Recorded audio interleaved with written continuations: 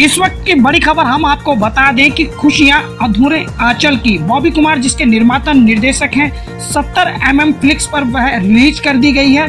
हम आपको बता दें कि बॉबी कुमार पहले भी अपनी फ़िल्मों के माध्यम से संदेश देने में कामयाब रहे हैं।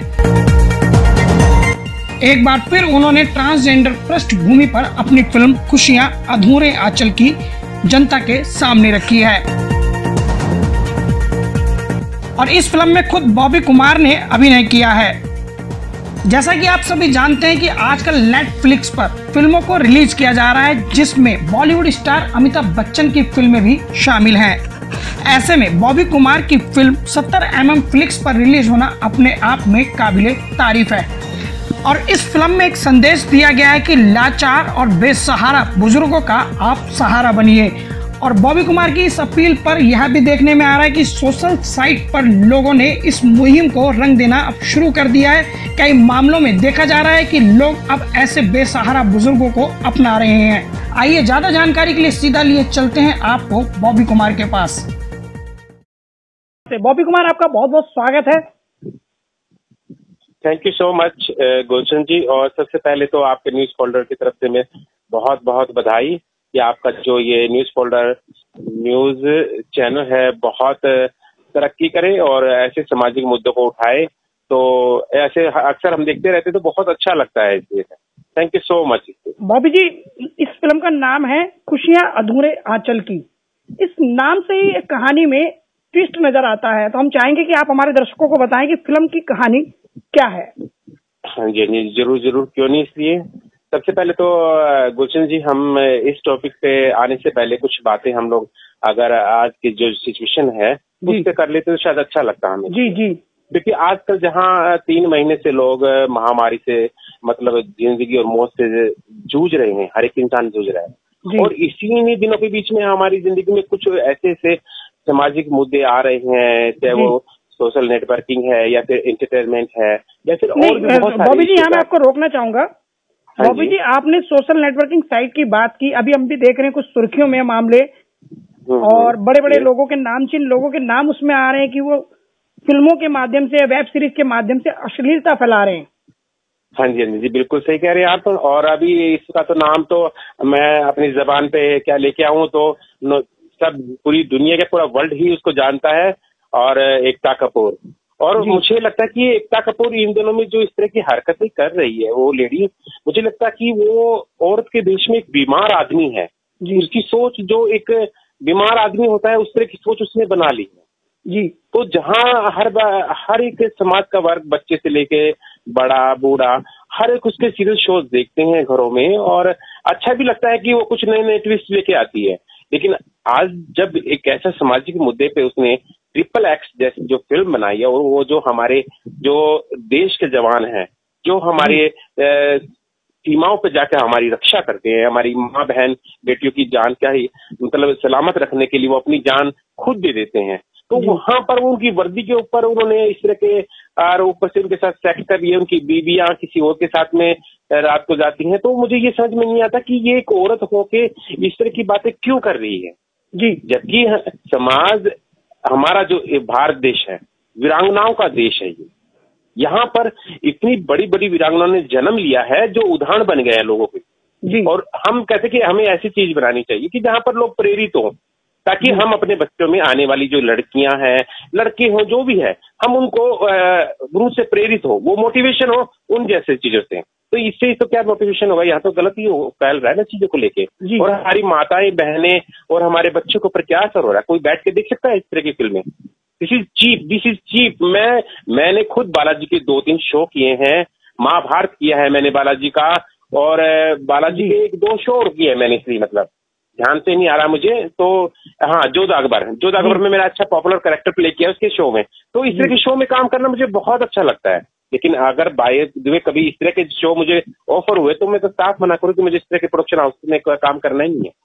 क्योंकि खुद मेरा भी अपना प्रोडक्शन हाउस है एस बी इंटरटेनमेंट मेरा ही है।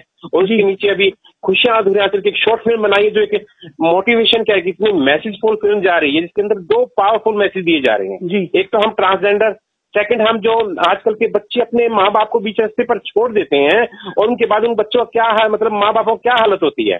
जी। तो हमने ये दिखाया कि अगर किन्हीं कारणों से अगर ऐसे बच्चे अपने माँ बाप को बीच रस्ते पर छोड़ देते हैं और जिन घरों में माँ बाप नहीं है तो उनको एक्सेप्ट कीजिए उनको माँ बाप मिलेंगे उनको बच्चे मिलेंगे। तो ये समाज में मैसेज फुल है और मेरी ये फ़िल्म अभी अभी seven zero M M Flix पर रिलीज़ हुई है। और बहुत दिल से शुक्रिया अदा करना चाहूँगा मैं उसका कि जिन्होंने मेरी फ़िल्म को देखा सराहा और अपनी ऐप पे चलाया। और फ़िल्म आज के मतलब जी अगर एक सवाल रहेगा कि नेटफ्लिक्स हाँ पर देखिए अगर आप अमिताभ बच्चन जैसे बड़े स्टारों की फ़िल्में रिलीज़ हो रही हैं लॉकडाउन हाँ की मार जो। है बॉलीवुड में मंदी के रूप में झेली जा रही है। ऐसे में हम्म, हम्म। सेवन की एम एम फ्लिक्स पर आपकी फ़िल्म का रिलीज़ होना आप क्या मानते हैं इसको? मैं, मुझे बहुत खुशी हुई है, क्योंकि मुझे पता कि इससे पहले मैंने अपनी फ़िल्म को कई जगह मतलब भेजा था। जैसे अमेजोन है या और भी चीज़ें, जहाँ पर बड़ी बड़ी फ़िल्में रिलीज़ हो रही हैं। और उल्लू ऐप है, जिस तरह कई सारी ऐप है तो मैक्स प्लेयर ऐप है। तो वहाँ पर मैंने अपनी फ़िल्म को भेजा था, उन्होंने अच्छा रिव्यूज़ दिया। लेकिन उन्होंने ये कहा कि, बोवी जी, हम आपकी फ़िल्म ले सकते हैं, कोई ऐसी बात नहीं, क्योंकि आपके दोनों चीज़ें बड़ी पावरफुल है इस फ़िल्म में। मेकिंग भी अच्छी है हमें, और आपका जो कंसेप्ट है, वो बहुत प्यारा लगा। लेकिन हमारे यहाँ पर हम इसमें सेक्स नहीं है। जी। तो ये जब जब सेक्स की जब बात आई तो मेरे कान खड़े हो गए कि मतलब अगर मैंने कोई चीज़ मैसेज वो बनाई है लोगों को एक अच्छा संदेश देना चाहती है मेरी फ़िल्म और वहाँ सेक्स ना हो तो मेरी चीज़ों को कोई लेगा ही नहीं। जी। तो यहाँ मैं आभार व्यक्त करूँ दिल से कि ये जो seven zero M M Flix है ये सुपर डुपर हो और लोगों में ये इसको डाउनलोड करें। और जिसको प्लेटफॉर्म नहीं मिल रहा है। तो यहाँ पर आप अपनी फ़िल्मों को दे सकते हैं वो बड़ी रिस्पेक्ट और इज़्ज़त से आपकी फ़िल्म लेंगे और उसका जो भी आप पैसा है या जो भी उसका मिलेगा तो वो ज़रूर उसको आपके कॉन्ट्रैक्ट जैसे साइन करेंगे वो लोग वो उसका हिसाब से देंगे। ये मुझे बहुत अच्छा लगा। बॉबी जी अभी हमने देखा कि इस फ़िल्म को रेटिंग में सेवन स्टार मिले लेकिन फिर भी हम आपसे जानना चाहेंगे कि दर्शक इस फ़िल्म को क्यों देखें? सेवन गुलशन जी सेवन नहीं एट हो गया है अभी। अच्छा जी सॉरी हाँ जी तो अभी एट रेटिंग पे मेरी फ़िल्म चल रही है कि दो दिन पहले ये छह पे थी। और आज मैं जैसे शाम तक आठ की रेटिंग पे चल रही है यानी मेरा फ़िल्म बनाना बड़ा सफल रहा कि लोग मेरी फ़िल्म को देख रहे हैं पश्चिम बंगाल दिल्ली में ऐप को डाउनलोड करने रहे हरियाणा और काफ़ी स्टेटों में फ़िल्म धीरे धीरे जा रही है। छह से आठ रेटिंग पे फ़िल्म आ गई है। तो मेरे लिए तो बहुत बड़ी बात है कि बाईस मिनट का कंसेप्ट है जिसके अंदर इतनी अच्छी चीज़ें मैंने लोगों को दिखाई कि बैठ के वो लोग जैसे हम बचपन में रामायण देख रहे थे अपने घरों में ऐसे मोबाइल चला के उसको देख रहे हैं मुझे बड़ा अच्छा लग रहा है कि मेरा फ़िल्म बनाना बहुत बहुत सक्सेसफुल रहा मुझे अच्छा लगा कि मैंने कुछ समाज में दिखाया है और कुछ आगे मोटिवेशन लोगों के लिए बनाया है मैंने। जी बॉबी जी चलते चलते एक आखिरी अपील हम आपसे करना चाहेंगे। अगर इस फ़िल्म हाँ को लेकर आप हमारे दर्शकों से कोई अपील करना चाहें तो आपका स्वागत है।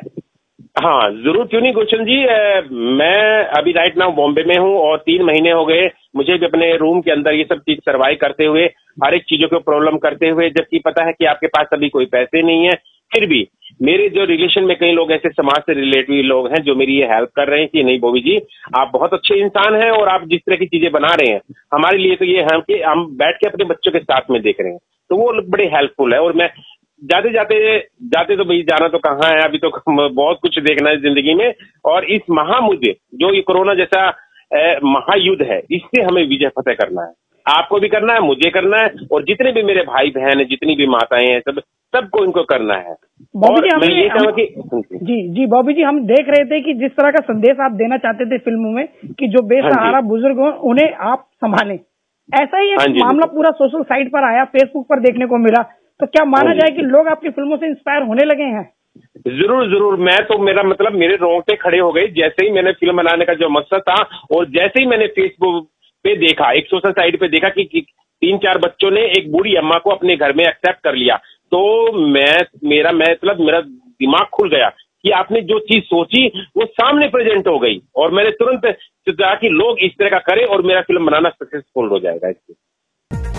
तो ये थे हमारे साथ बॉबी कुमार जो जुड़ रहे थे अपनी फ़िल्म खुशियाँ अधूरे आंचल की को लेकर, और इन्होंने बताया कि किस तरह फ़िल्म का जो असर अभी से लोगों के साथ होने लगा है। और इनकी अपील अब लोगों पर असर भी करने लगी है, जिसकी वानगी अक्सर सोशल साइट पर देखी जा रही है।